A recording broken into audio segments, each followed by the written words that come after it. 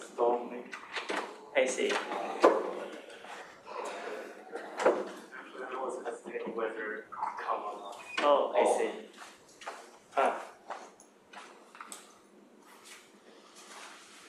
I should know your name too. What's your name again?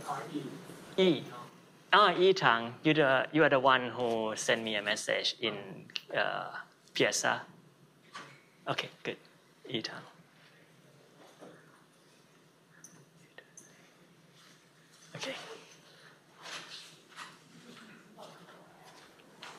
不晓得那肯定是有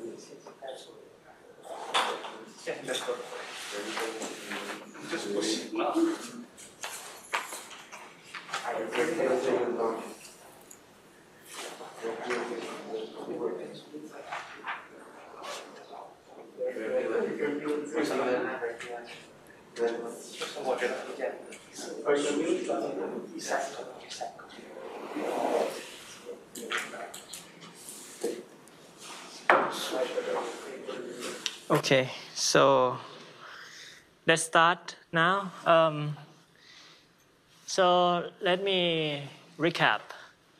Um, so so far in this class, like as I said in the beginning, maybe like the first half of, of the class, we, ju- we are just gonna try to see several characterization of expander. Uh, it's actually gonna be five different ways, and we have seen three ways, uh, three, th- three things that characterize expander. One is from the robustness view. So that is expander is exactly the graph where uh, it, it is robust against any uh, adversarial deletion. Yeah. That's the first thing we saw. And another one is cut. Basically, expander is like a one that is um, so um, if you compare, um, you have an expander and another graph, but with the same degree profile, then every cut of expander will be kind of dominate uh, the cut in another graph in size. It's like the one that have maximum size uh, cut. Okay. If you look in flow way, then yeah, if you have any, if you have an expander, and another graph with uh, uh, that is like um, same degree profile or less, then that graph is going to be embeddable into an expander uh, with small congestion. So that is like, and this is like um, characterization. It, it holds if and only if the graph is an expander. So that's like uh, three ways. Um, all of these are kind of still combinatorial. Today we're gonna see like completely different way. Uh, it's gonna be algebraic, uh, which is based on uh, uh, eigenvalues. So this is the area, like a part of the area called spectral graph theory, where roughly speaking in this area, you would have you have a graph, and then you define some metrics related to that graph. Here you have a graph, and then you define some matrix M. And then you try to study um, eigenvalue of M and relate it to some combinatorial property of, of the graph. Like, um, like draw a connection between algebraic property and combinatorial properties. Okay. And there's like very nice, great textbook by uh, Dan Spielman. Um, so you can have a look if, but so before I start, um, I just need to, uh, we need to review some uh, linear algebra fact. That is, um, if you have, if you have a, an, a matrix which is uh, symmetric and real, so you have a matrix M and it's symmetric, so something like 10, 8, and this should be 8 to 6. Yeah. And each entry is from real. Then um, we can prove that there will be like a real eigenvalues lambda from lambda, lambda 1 to lambda n and real eigenvectors that are orthogonal to each other, right? So there will be like uh, n numbers and n vectors that are orthogonal to each other, such that when you multiply uh, vi to m, then you get you get the same thing, but with just some some scaling. So this is this is actually like the definition of eigenvector. is a vector that after you apply it by m, then m doesn't do anything except scaling. Okay. And how much it scale is like a, the eigenvalue with respect to, to that vector. And moreover, uh, you can just write m in, in this way, right? You can really decompose m into into um, into the sum of outer product of of uh, sum of the other outer product of eigen uh, vector. Okay. So just a comment. You should, here you should have also normal, right? You should need like you need VIs to be unique. Oh yeah yeah Otherwise, that second equation doesn't. yeah yeah orthonormal. Thanks. Very good. So normal meaning that is one. Yeah. Thanks. Okay. So, so by the way, um, I'm not sure if, like, you how how you internal how how you internalize this fact uh, by yourself, but at least um, I will not prove this, but I, I, will just tell you how how I remember it. Um, I'm not sure if that's the way you you you uh, you remember it anyway or not. But so look at this picture actually, and um, so basically, if you have any matrix M, which is real and symmetric, then you should, the way I think at least of, of M is like an, an ellipsoid. So it's, it's like, uh, it's like this. Um, but can be more than two dimension. Okay, can be like this and this thing. Yeah. And um, so how, how does this ellipsoid define? So basically you just, if you have like a, a sphere here, then you just say, okay, what is the mapping? Like how, how does each of the point here is mapped by m. So this, if this is x, then this is gonna be uh, mx. Um, so, so when you map every every point in in the unit sphere, then you will get ellipsoid like this. And then, um, and then what is the eigenvector? Is really like the just the x axes of, of the ellipsoid. So there's gonna be one, one direction, v1, and this is uh, v2. And then uh, the eigenvalue basically just say how much you stretch each of, of the axes. So that is uh, the way to think about it. Uh, a matrix, real symmetric matrix is just ellipsoid. And, um, and it can be described by just the axes of, of the, this ellipsoid. Yeah.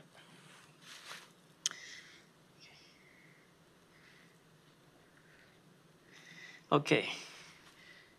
May I ask if, if this is a way you, you think about it anyway? Or um, like, because I never learned, like, I don't have a, a like linear algebra class uh, formally, so this is just something that I pick up along the way and find that useful. But, uh,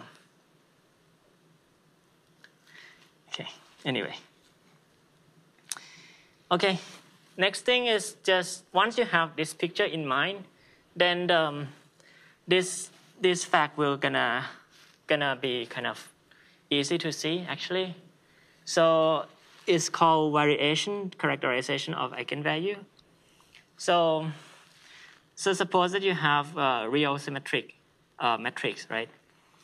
Then um, what's gonna be, what is going to be um, lambda one, the biggest, uh, the minimum eigenvalue? Well, it's gonna be like, if you look at all of this, um, if you look at this ellipsoid, it's gonna ask you where, which axis is gonna be like the minimum guy here, and say how, how much is uh, it stretch your unit vector, right? And um, so like exactly this thing, like you minimize over all, all, all vectors, and you, if you assume that x is a unit one, if x have unit norm, then you don't care about this. And you really ask like, in which direction uh, that M really like stretch the least and, and look at that stretch. That is the lambda one. On the other hand, lambda n, the one that is biggest, uh, is gonna be just the same, uh, where you, you take the maximum instead. Right. What about lambda 2? Um, lambda 2 is, is just, you, you can just write it as, well, um, you know it's going to be, um, it's going to be orthogonal to, to the first, like the second eigenvalue, is, the second eigenvector going to be orthogonal to the first one. And then among, like, so you, you just ignore that direction of first eigenvector and look at the rest of the space and try to minimize over all that space. Well, uh, then you will get uh, lambda 2. Does it make sense? Okay. Okay. And um, so in general, uh, what will be lambda k? Well, you, you will look among all of the k-dimensional vector, uh, k-dimensional space, right? Um, and then, so maybe I, I write this one first. If this is lambda 2, then you look at two dimensions. It's going to be the same thing as look at two-dimensional space and then maximizing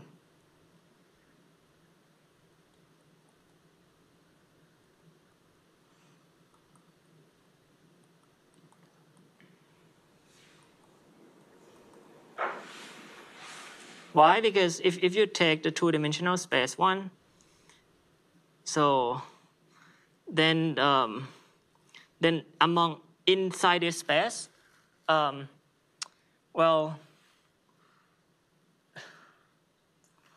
lambda one gonna take the first direction, and so the rest is gonna be lambda two. Um, so if it is lambda k, then you, then you take k dimensional space, and then you look at the maximum direction inside that space. That's lambda k. Yeah. Or in the another way is just to take like a vector which is orthogonal to the span of of the the k minus one vector before it, and then uh, minimize that.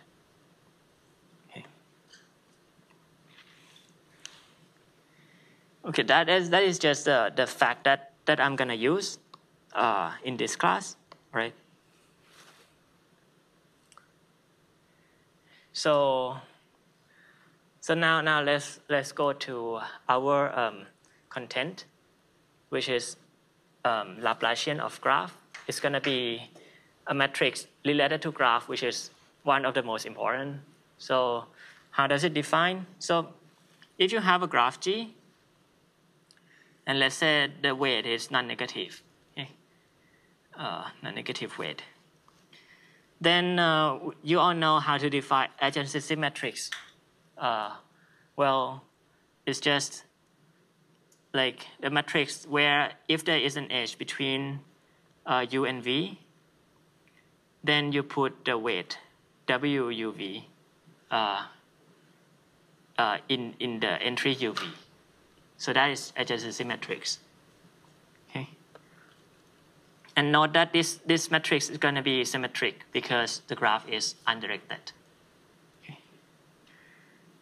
And how about degree matrix? Well, degree matrix is just a diagonal matrix. So everything outside diagonal is zero and on the on the entry UU here, you put the, the degree of, of the of the of the node U, which is what? Which is just a sum of, of the of the weight around it. Okay. Okay. So by the way, in, in this class, I'm gonna use D for degree because I will use it so many times and D is just shorter. And so, so which means that D of S here is going to be the same thing as sum of degree, which is the volume. Okay. And now uh, the Laplacian matrix is nothing but degree matrix minus adjacency matrix. That's Laplacian very simple to, to define. When you use D, is it weighted degree or? Weighted degree. So it's a sum of all the weight. Um, yeah. Okay. All right.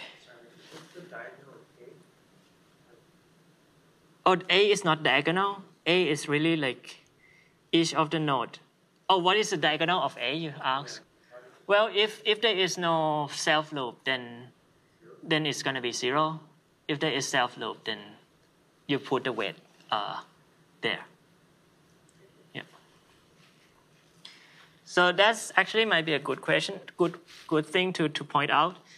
That is, in Laplacian, then the self loop doesn't matter because if you add one self loop at u, it's going to contribute the weight here, but you minus it from A too. So it's just cancel out. Okay. So now, um, so Laplacian is going to be real and symmetric. So all eigenvalue are going to be real too. And um, that's just the first fact, but let's, let's understand it more than that. Um, so to understand LG, let me look at a Laplacian of very simple graph. I call it LUV. It's just, just a Laplacian of graph which is have nothing but one edge from U to V with weight 1. And let's look at the Laplacian of this graph. Okay. Well, you can see that the Laplacian of this graph is going to be super, super simple. well, you will have just everything is zero except three, uh, four uh, entries. You have one on on the diagonal on the diagonal here. Only two of them here, and here you get uh, minus one. Right? Okay, so that's how um, Laplacian of single edge graph look like, just for entry. So, but now you can, we can, let's try to observe here, right? Then Laplacian of a graph, G, is literally just the sum of this simple matrix. Uh, well, why? Because if you if you take each edge E and scale it up by the weight WE, then that's going to be Laplacian of the weighted edge. And then you sum over all, over all uh, edges. Then you, you get, um, you will get a Laplacian of the graph. So it's kind of nice to see that the sum of this simple thing is, and you can just check that they are exactly uh, D minus A. Sorry? LE, so, L, well, LE is the, if, if uh, E is, is UV. Yeah, not, not, not single entry, uh, four entry. Yeah, yeah. It's four entry here, yeah. All right. So everyone with me on this inequality? Okay. So now let's let's study just so because because the Laplacian of a graph is just a sum of this simple thing. So maybe let's just study um, this simple thing, LE or LUV, um, because um, it's going to be enough. So if you have, um, if you take any vector x, okay, and you, you multiply on both sides to, to LUV, what you're gonna get? Well, let's just draw things, right? Um, you have 1, 1, minus 1, minus 1 here. And you multiply x on both sides. Then, like, how, how would you, what, so you're gonna get like this thing gonna correspond to to xu square. And this thing you're gonna get xv square. And for this you're gonna get like minus 1 times xu times xv uh, xv and the same here so you get 2 of uh, minus 2 xu xv. But that is exactly um, xu minus xb square. Okay. So, so in particular, suppose that your vector x is a 0, 1 vector. So like if x is a 0, 1 vector, and let's say that x is like is a 1 on, on correspond to set S. So you have one on, on the entry inside S and zero outside. Then you can see that this thing, just by plugging, uh, plugging uh, uh, vector 1s into this um, equation, right? It means that you will get 1 if and only if uh, UV is cut by the, the cut S. That is, if, if one of you, like only one of you and V, exactly one of them is inside S. Right? Because if one, both of them, like if you and we are outside or inside, then they're gonna cancel each other out or they are just zero. Okay. And but note that now now what what if we try to study instead of the the product of here x l u v x? If we look at Laplacian of the graph itself well this you're gonna you will get just this is just a sum over all edges. And um, and you you have to look at each of these. Right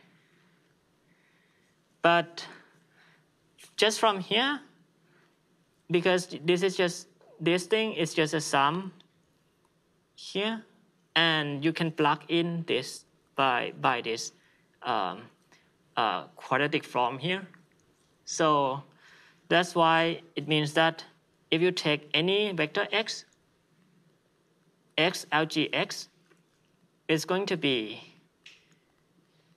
to be this thing.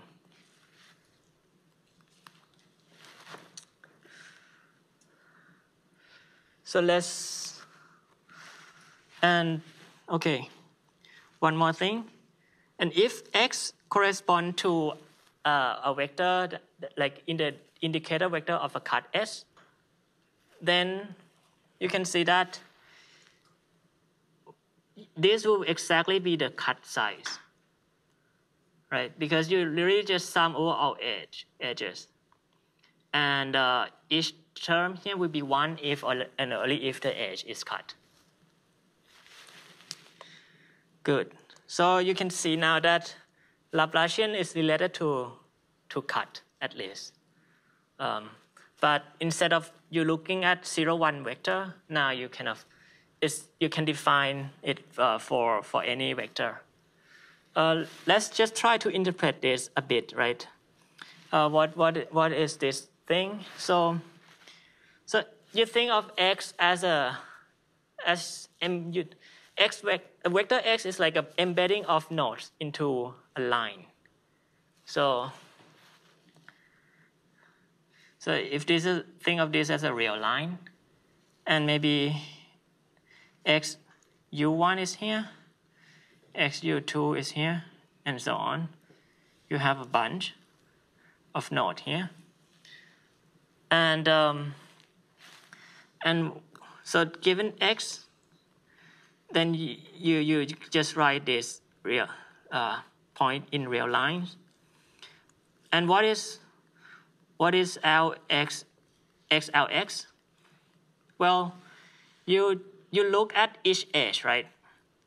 Suppose that there is an edge between U1 and uh, U2. So maybe this is an edge in the graph. Then you just take the distance between this and square Right? So, like, at least the way I think about it is like, suppose that you have a graph and you have a vector x. Now you kind of, you have some graph here. And now you, you kind of put a nail, like you, you have a node u, and then you, you just say that this guy should be here, xu is here, v. So v is, if v is here, then you put xv here. And now each of the edge, you think of it as a spring. So what is the energy of the spring? Is gonna be like this distance square. So um, this is the energy of the spring. So, and um, the coefficient here is like um, the coefficient of the spring, like how strong is a spring. And so, what is this? It's gonna be the total energy when you, when you like put the graph in the real line with a spring, a lot of spring. Okay. Uh, but yeah, I like that interpretation. Okay, so let's go further. Um,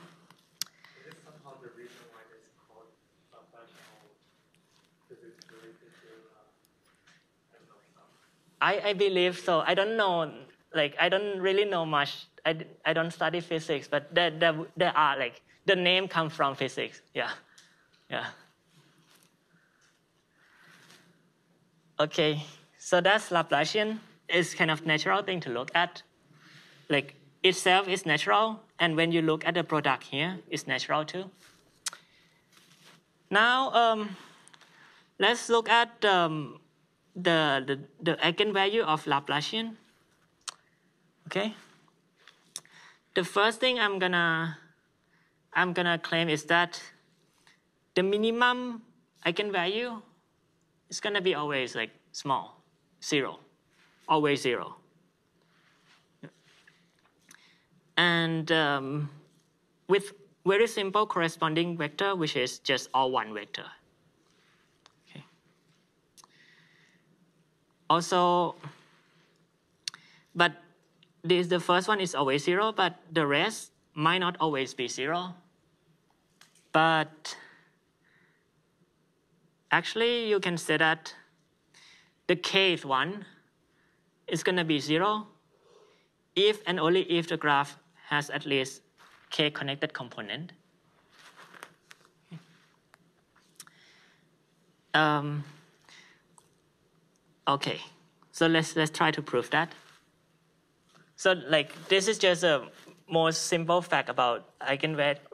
Um, like you can see that just looking at the eigenvalue, you, you see some something about the graph now. Okay. Um,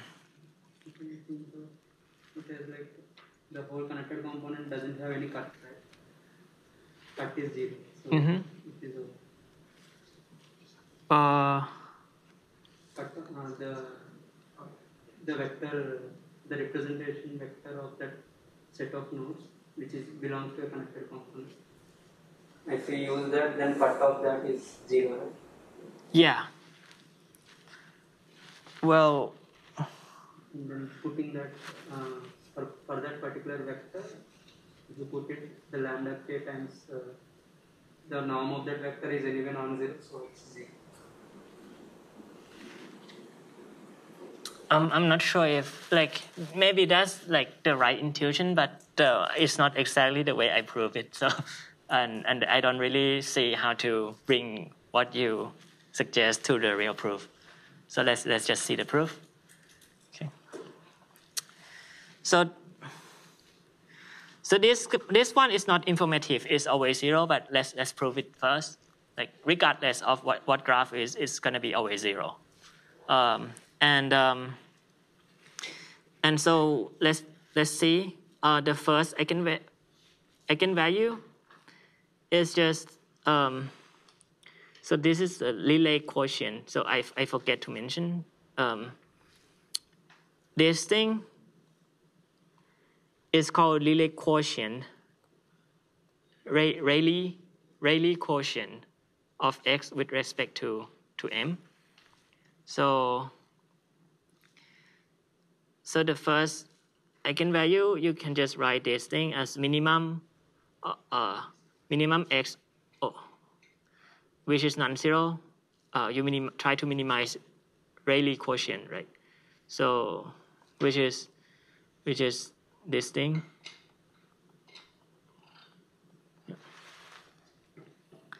But you have seen that um, this is just the sum over all edges and the difference in the distance square. Okay.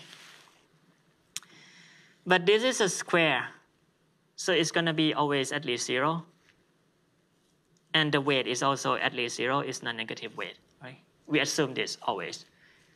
So, so this is at least zero. But it's gonna be at most zero as well. Why? Because if you put like all one vector as x, then uh, everything here will cancel. So, so there is the x is an x such that this is at most zero. So that's why the first eigenvalue is at most zero. So that's that's why it is exact exactly zero.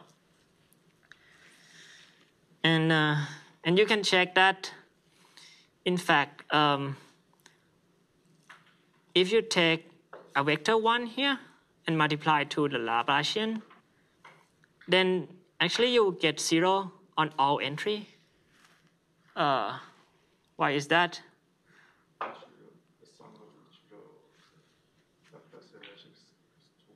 Yeah. Like L is just A minus D minus A.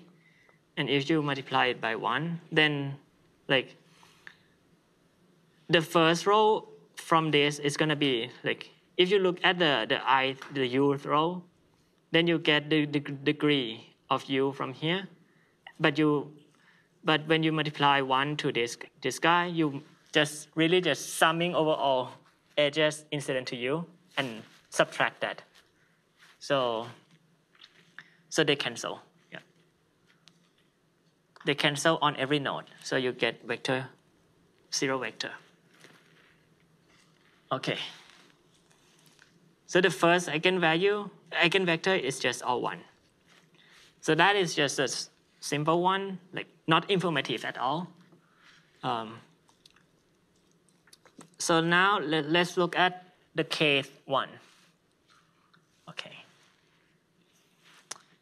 So no, so again, recall that the kth eigenvalue, you it equals to like um, when you take any uh, k-dimensional space and try to minimize over all k-dimensional space and take some x in that and uh, maximize the and you try to maximize the Rayleigh quotient here.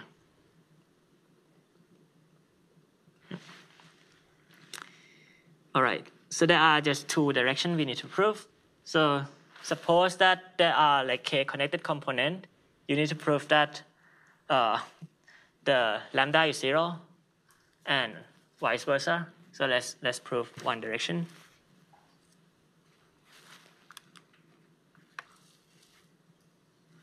Okay. Well, so suppose that there are k component in the graph. C1, C2, C3, right? Then we can define like, you can define like um, vectors like such that it's all one inside C1. So this is, they are all one for, for C1 and one for C2 and one for C3. And you take this like the space that is spanned by by these these three vectors. Okay. So this is gonna be like the space of dimension at like k. Yeah. And now, um, well, we'll take now if you if you look at any vector any vector x in v i'm going to show that like if you if you put if you look at the Rayleigh quotient of of x it's going to be at most zero. Okay. So why is that? So you can see that well on like what what is the contribution of of of edges inside the inside each so okay. So so so, so take so first of all take any x right and look at each of the components ci we know that entry of x in ci is going to be the same. Like it's like everything here is either 10, 10, 10, 10, because they, they are span, like the span of, V is a span of this vector. So, so there are constant inside each component. And so if you look at the contribution of to the Rayleigh, Rayleigh quotient inside the component, well, it's going to be zero because this is like both both of them are the same number. Okay. And this is the same for every component.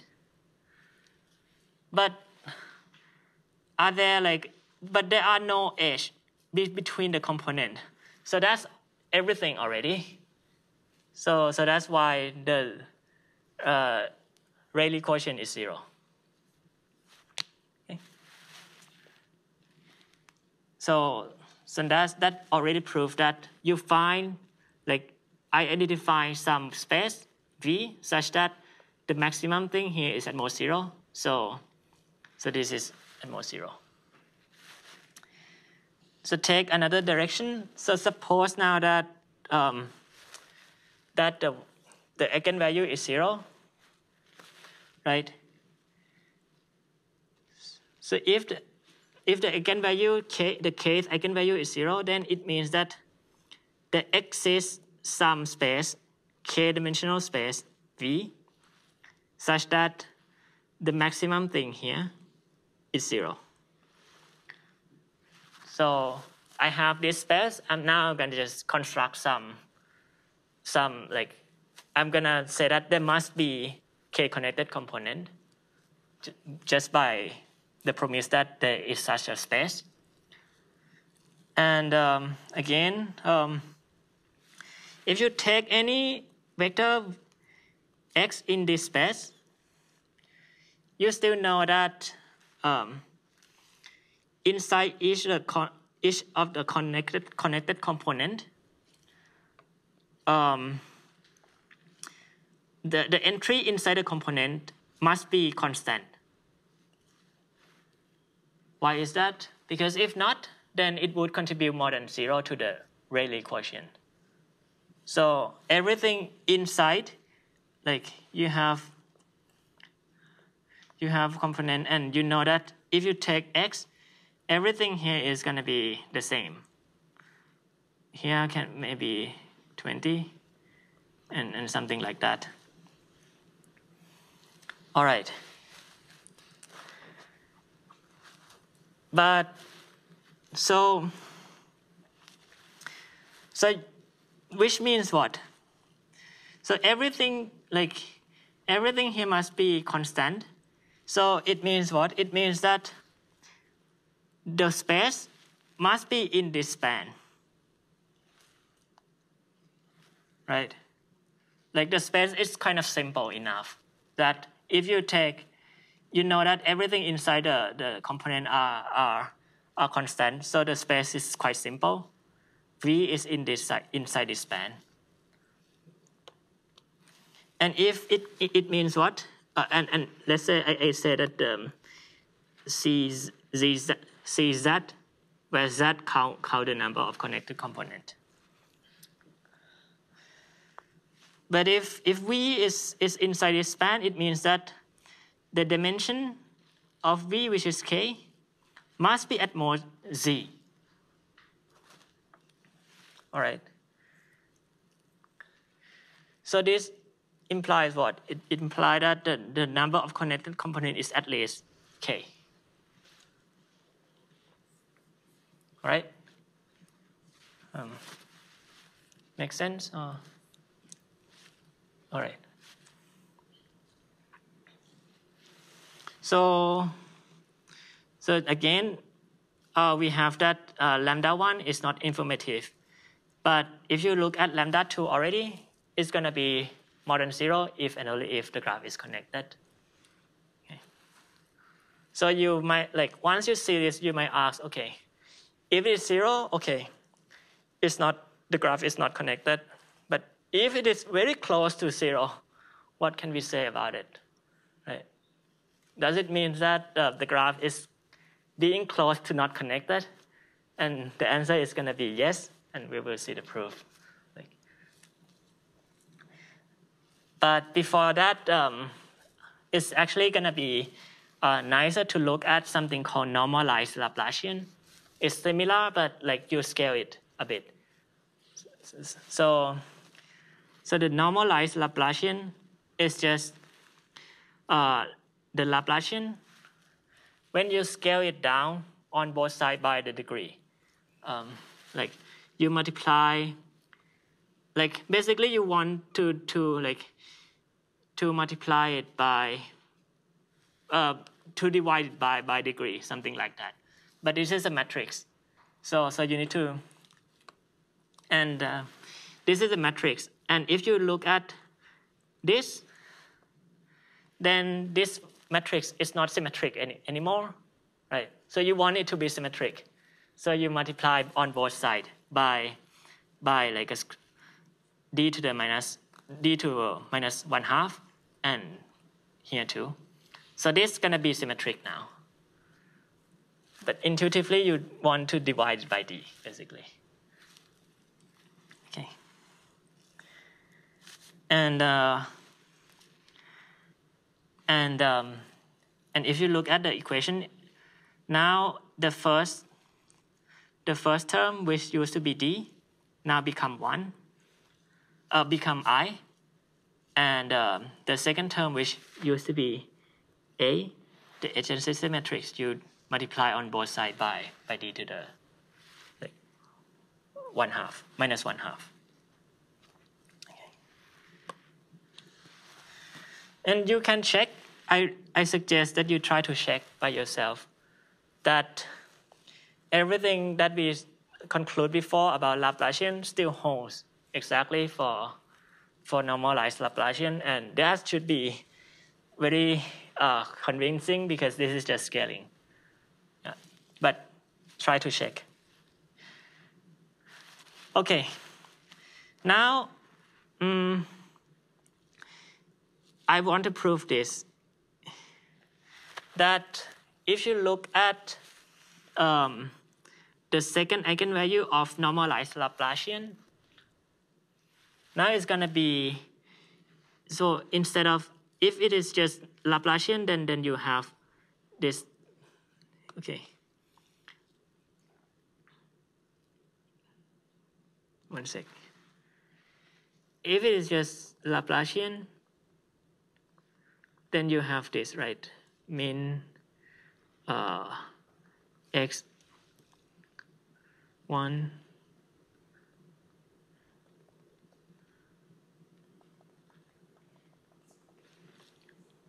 why why this is why why x why why here like why do I write uh, x Because first eigenvector is uh, 1 all. oh one yeah right so that's why we want it to be orthogonal to the first eigen uh, vector. Yeah. Now, like if we look at the normalized Laplacian, then you will get D here, and you get D here. So that's kind of different, but you will see that it's actually going to be more useful to, to have x dx on the, on the denominator. Um, um, maybe we, before I, prove before I prove this, let, let me explain some intuition why it's a good thing to look at normalized Laplacian. Why do we want D here? Okay. So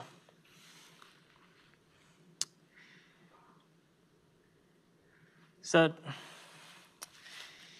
let's look at like so it, take this right I will prove this soon, but if you take this, look at this equation, then you will see some similarity between, between the conductance and the second eigenvalue of normalized Laplacian. Why? Well, this is just what I just claimed. Okay. But the, the the conductance of a graph is nothing but you minimize so I'll cut, right? And this is just uh, cut size over the volume when when S is such that ds is less than, than half.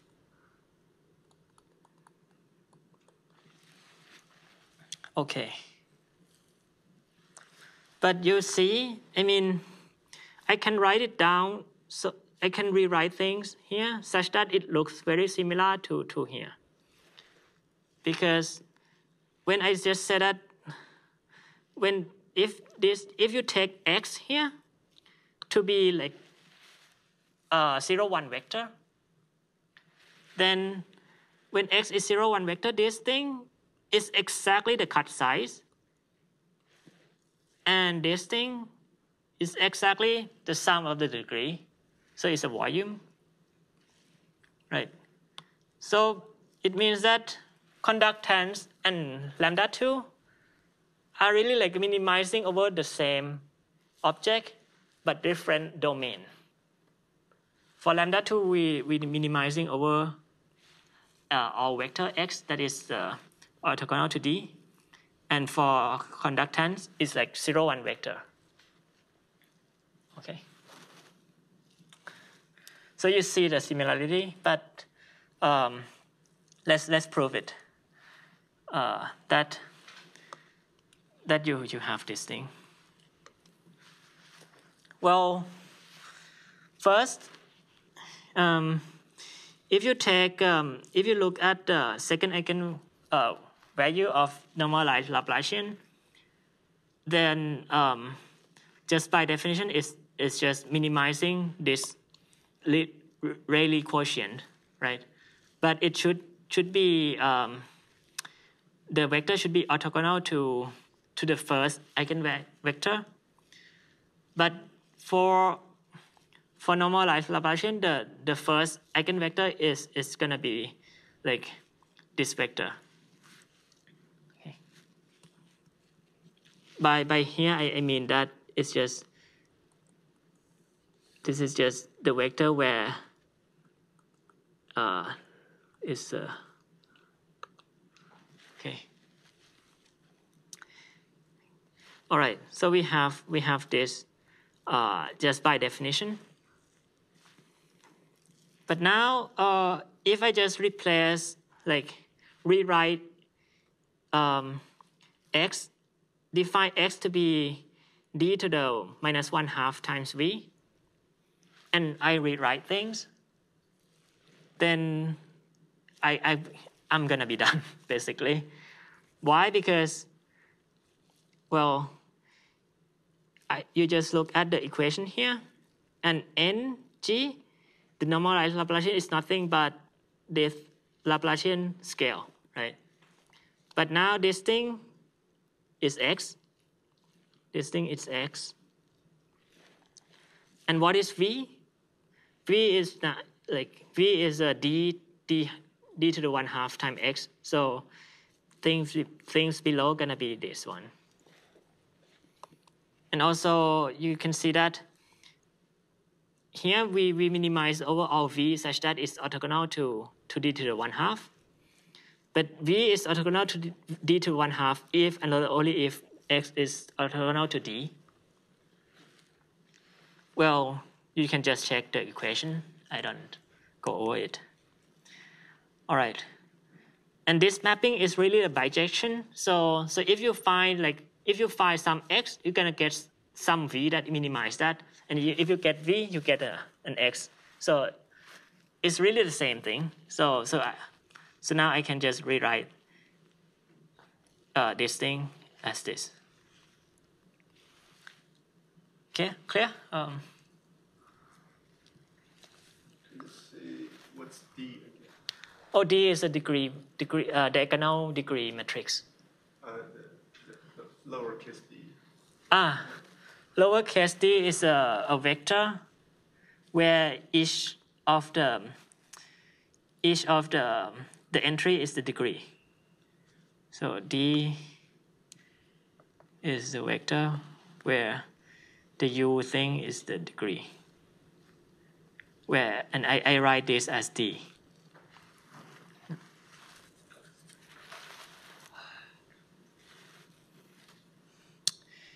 Okay. So now, now you see that lambda 2 of the second, uh, uh, like second value of uh, normalized Laplacian is really close, like at least syntactically is closely related to, to conductance. And uh, we're gonna really show that like although the, the, the domain are different, they are really like they are almost the same up to some, some, some factor. Okay, so lambda 2 does not only tells us if the graph is connected or not. It's not just an extreme case. It's really measure how well connected the graph is. If the lambda, if lambda 2 is big, then the conductance must be high. And if it is small, then you must, there must exist a sparse cut.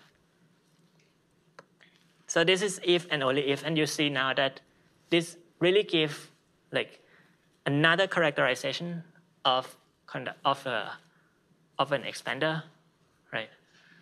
Um, the graph is an expander if and only if like lambda is big, lambda two is big. Okay. And this is called Cheeger inequality.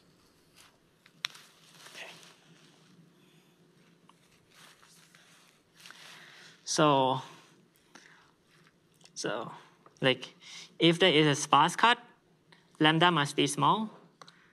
And if lambda is small, you can there is a sparse cut, but not just that there is a sparse cut. Actually, there is an algorithm that finds such cut, such that like find a cut such that the conductance is at most this thing. So this is like algorithmic. Okay. And once you have this, then then you you you have that this is at most this, too. But just by applying the equa the inequality again. Okay.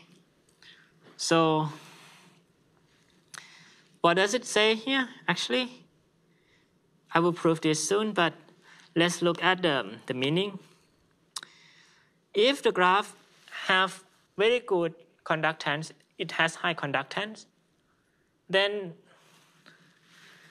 then this algorithm actually gives you like uh, O1 approximation algorithm for for um, for uh, for the conductance, right? I should say that O1 approximation algorithm for sparsest cut, for like to find a cut that is uh, such that the conductance is almost as good as the minimum conductance. Um, yeah. And it's O1 because you can see that um, there is like if this is a constant, then there is no like there is no dependency on n here. So it's actually a very good algorithm to find sparse cut if the graph is uh, have good conductance.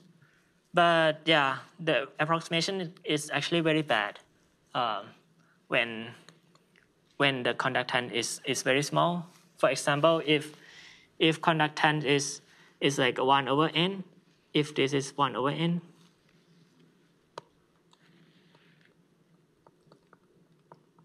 is 1 over n, then this the algorithm only uh, can, might only find the conductance, like the graph, the cut with conductance root of 1 over n. So, and know that this is much, much bigger than this thing. So this is like square root of something less than 1, so it's bigger. Yeah. Okay.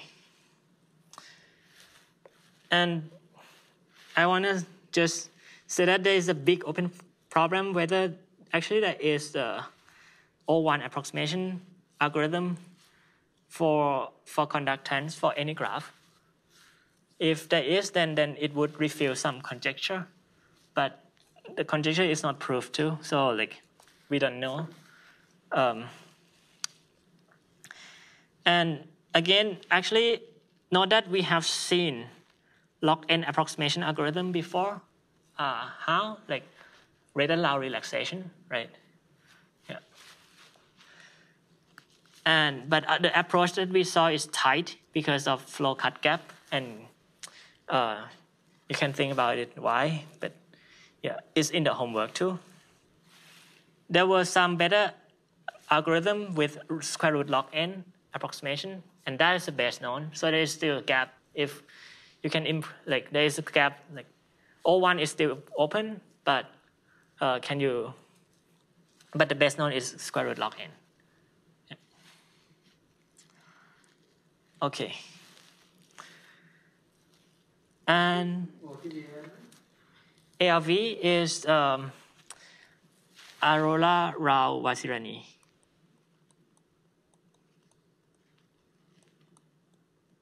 Vasi- This doesn't use the flow and cut type of argument, right? It should use something else because flow cut is type.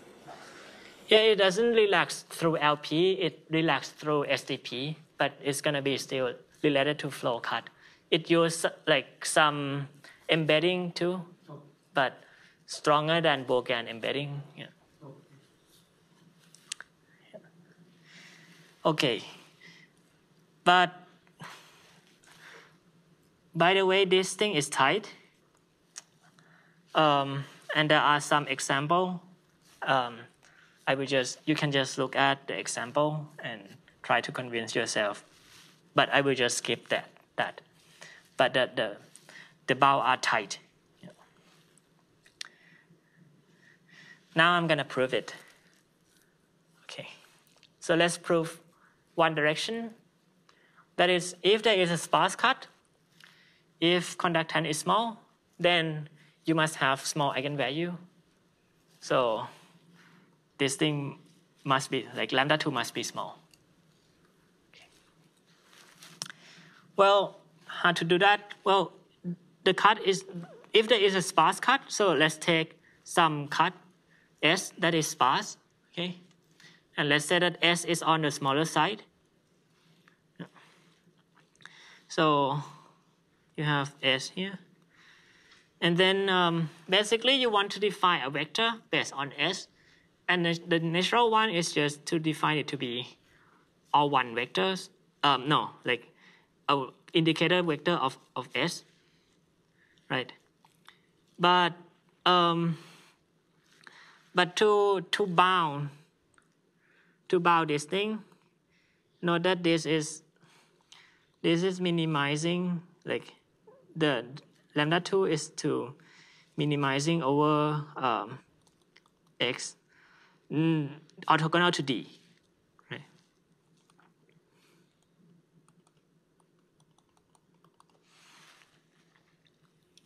So we have this vector um, this vector um, of s but somehow we want to construct another vector x orthogonal to d such that this is small. If we can do it, then we are done. But okay, this vector is not orthogonal, is not orthogonal to d. So what do we do? We just make it orthogonal to d just by like translate. You have one s and you just translate all of the all of the entry such that they become orthogonal to d. So, so just choose a scale sigma here in the right way, and then you can check that once you translate it enough, then um, then uh, y will be orthogonal to d. Okay. All right. And now, because y is now orthogonal to d, then we have that lambda 2, ah, this should be of ng, is at most this uh, ratio. But, okay. What is this? Y ly? It's gonna be the same thing as it's gonna be the same thing as uh, S1S uh,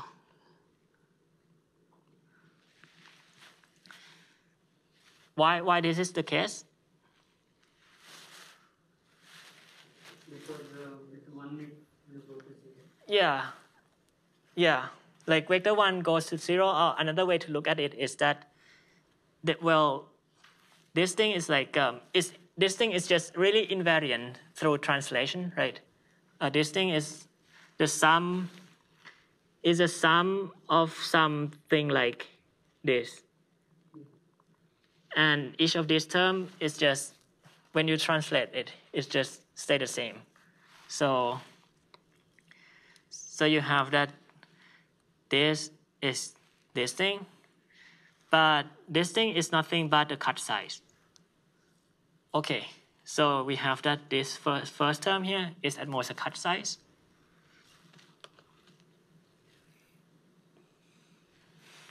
Now let's calculate the second term, like the, the, the, demo, the denominator. We want to prove that this is close to the, the volume of, the, of S, right? If, it, if it's just uh, one vector, like, uh, like indicator vector of S, then it would be the volume of S. But now we translate it a bit, and we want to say that it doesn't change much. So well, it's just really calculation. And um, can let me skip it because it's just really calculation, and you can it, it will be the case that um, you you still get the the volume of S here with some factor here. But this factor is like a constant. This thing is constant because S is on the smaller side. So that's why, like, actually, like, uh, something like one half at most, uh, at, at least, yeah, at least one half. So that's why you get that um, this is at most like the, the the numerator is this much and the denominator denominator is that. So so that is like, and this is true for, for every cut S, right? So we have that um, now. Now we, we are done. Um, lambda 2 is at most 2 times conductance. So sparse cut implies small eigenvalue. Uh, that's one direction.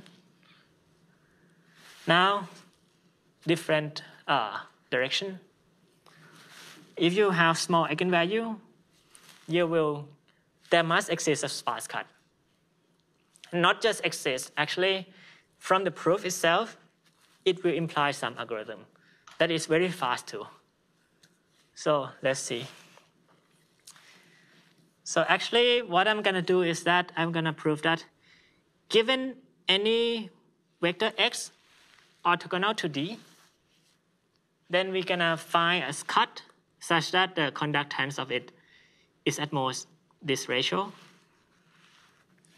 And this is enough. Why? Because if you uh, like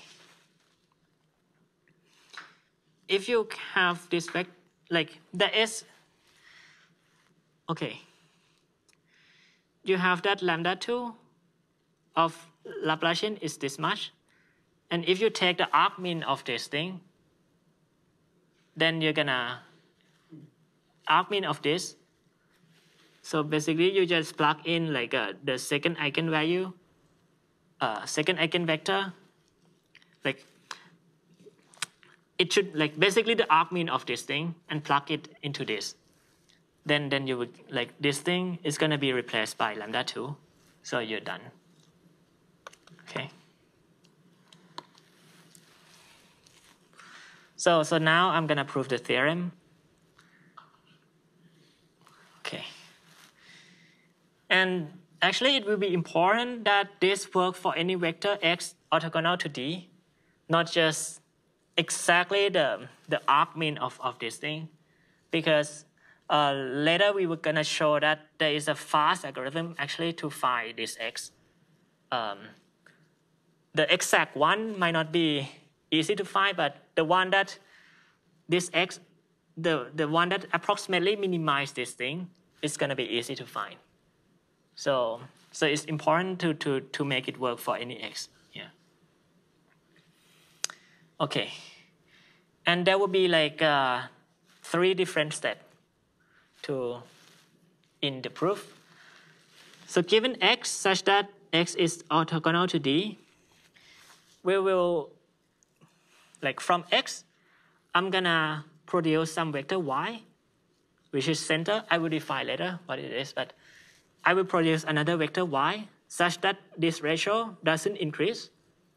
And then from y, I'm gonna produce another vector z such that the ratio doesn't increase again. And this z gonna be like, have a nice structure enough such that from z I can define a cut. And the conductance of the cut is gonna be at most this ratio and have square root here. And once I'm done with all these three steps, I'm gonna get the theorem, right? Okay, so let's start with the first step. From, from x, I'm gonna produce center vector y. So what do, what, do, what do I mean by that? So let's assume first that x, vector x is sorted. Just by the, remember the vertices, right? You can just sort, sort things and now assume that uh, entry of x are sorted.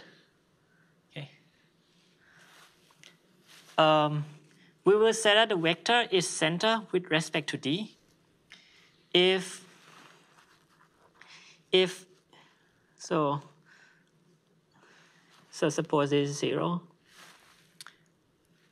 this vector is centered with respect to d. If everything below zero like all the y that which is less than zero when you sum the degree here on this it's going to be at most half and everything that is is strictly more than zero, the, the volume is the total volume is at most half too. There can be some some guy that have some there can be some guy here, right? That is strict like exactly zero. But every the total volume here on on the less strictly less than and more than zero is at most half.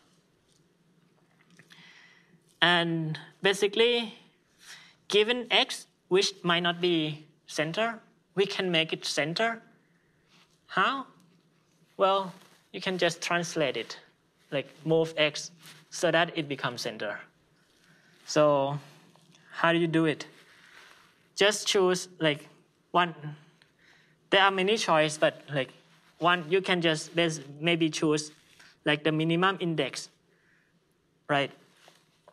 Uh, j to be the minimum index such that the sum, like, so you have x here, x1, x2, x3, and so on. Maybe all of them is positive. Might not be, like maybe zero is here.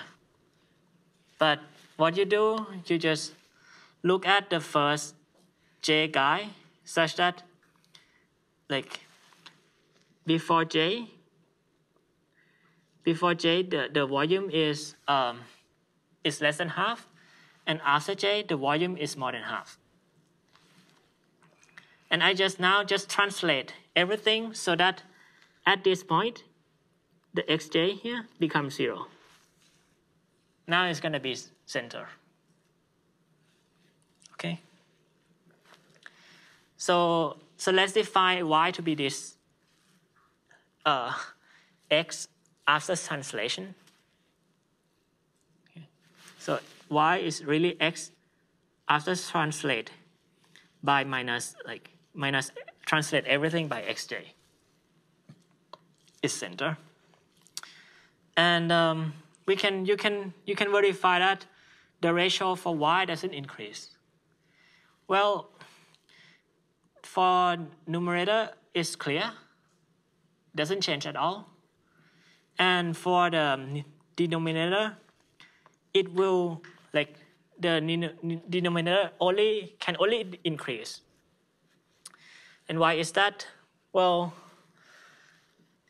if you look at any vector, like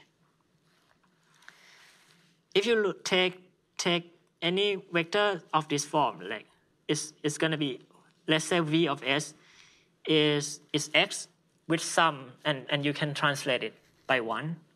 And let's say s is like a, a parameter that you can translate, okay? And you, like, this is now calculus. You just, like, the, the minimum s, like, if you want to choose s such that this term is minimized, um, how do you do, how do you do that?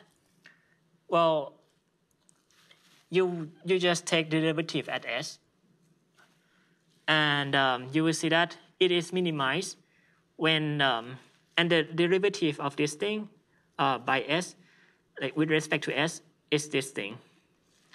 So so so this thing is minimized when when this term is zero. But x is the one which is like, in other words, like this Vs is orthogonal to D. Right?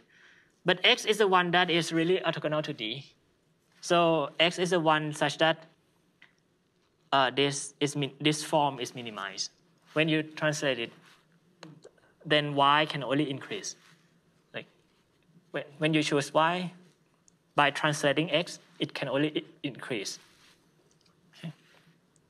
Okay. So that's the first step. Okay, you just translate it, and uh, you get something better. It's now center. Okay. So how does it look like? You have y, there is some zero, and there's y here on the negative side, and some guy here on the positive side. And um, basically, let's let me write it like this. So y is y plus minus y minus.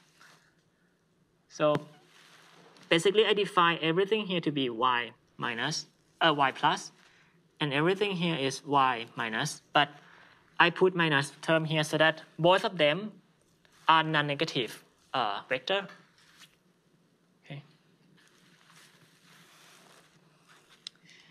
Make sense how I define it? Okay. So both y minus y plus and y minus are like they have disjoint non-zero entries. They are now non-negative. Both of them are now non-negative vector. And the sum of like they are small with respect to d, by which I mean the sum of non-negative, like the sum of non-zero entry are like at most half. This is true for for one minute, y minus and y y plus. Okay. I'm I'm gonna claim that um, if you take if you look at the ratio for y plus or y minus, one of them is gonna be better than y, gonna be smaller, and you will take z to be the one that minimizes this.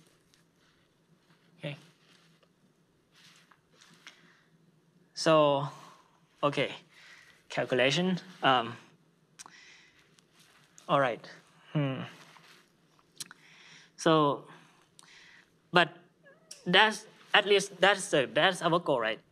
One of them will be better, and if if you believe this, then um, I'm gonna take that to be either one of them, such that it's the one that minimize like that with like less uh, like the one that minimize the, the term. So so we we have that the ratio of z is at most the ratio of y. And z gonna be non-negative. And also all non-zero of all non-zero in z will be at least like at most half. Okay. So let's let's prove this. That one of them is gonna be good. Like one one of y plus or one y minus gonna be better than before. Well, to do that, it's like this thing looks scary, but it's really nothing.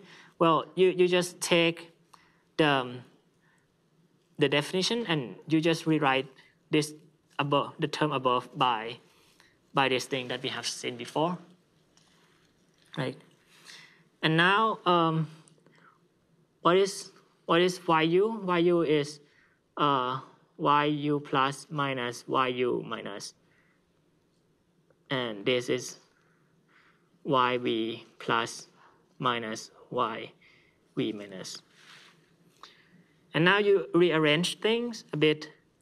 You put this thing together, you get this part. You put this thing together, you get this part.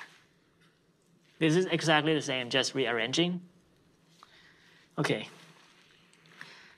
And I'm gonna just, this is a claim that I'm gonna need to, to prove later. That is this term is at least this term. Let's take that for now and look further. So, so you have that. You look at this ratio. And, and this, like with the sum here. Well, you have like the, it's like,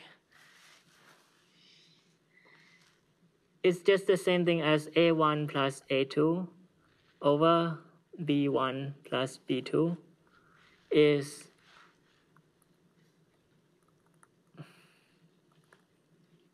AI minus BI. Okay. So that's why you I, I can just take mean instead of plus here. Okay.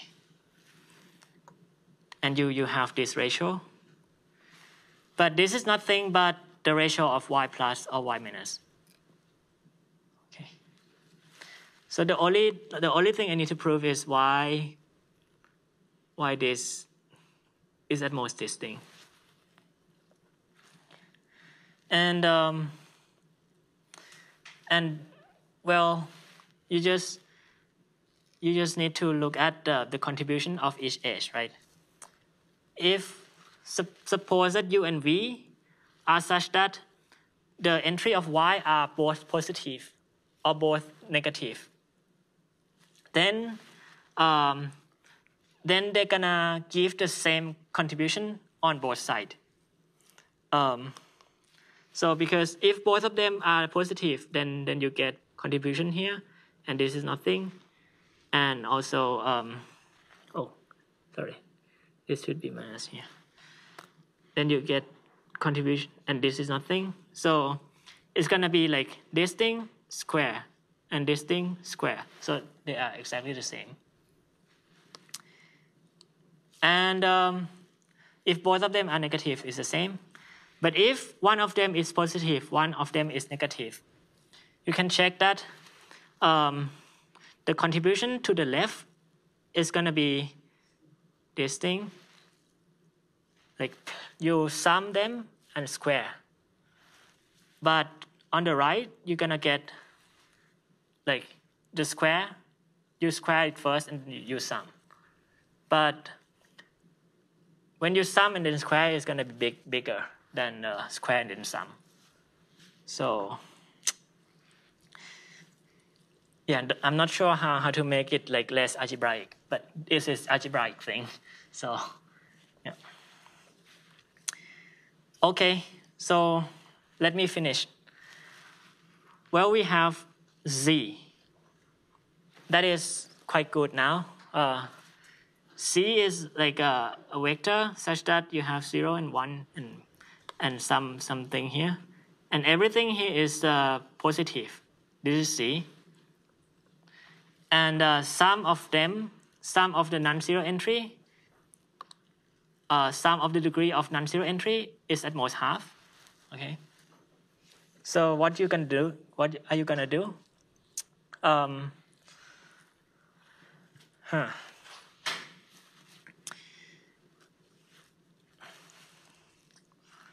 I'm gonna, okay, I should finish, right? One sec. Huh.